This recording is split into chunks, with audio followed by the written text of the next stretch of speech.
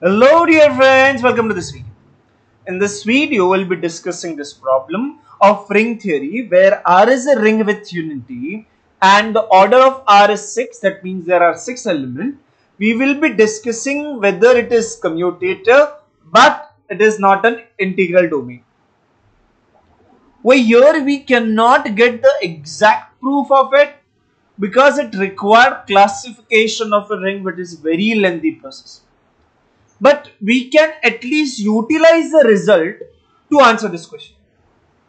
The result that we are going to use is if my ring is of the order p into q where p and q are nothing but the distinct prime numbers then there are total four rings up to isomorphism right there are four ring up to isomorphism those four rings look like z p q and there are other three rings as well where these rings are defined with a external direct product.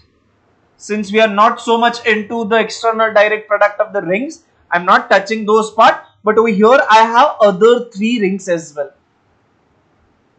See in our case as well since my this 6 can be written as 2 into 3 I know it is P into Q where P and Q are distinct prime number Therefore, there are four rings up to isomorphism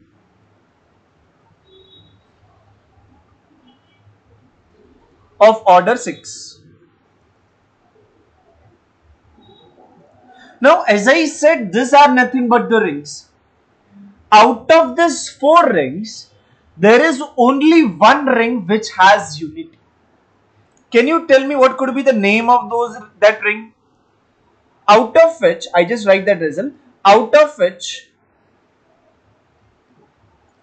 only one ring, I think you can guess this name, one ring has unity.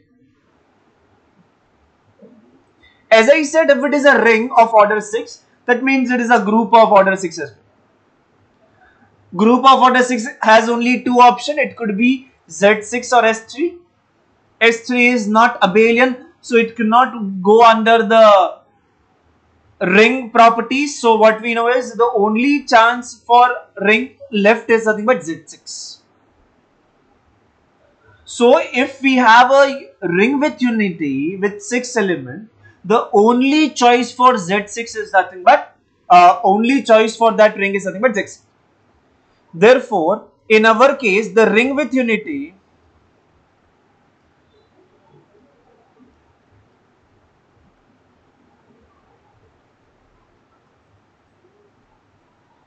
which is commutative but not integral domain. Why it is not an integral domain? I think you can answer because it has a zero divisor.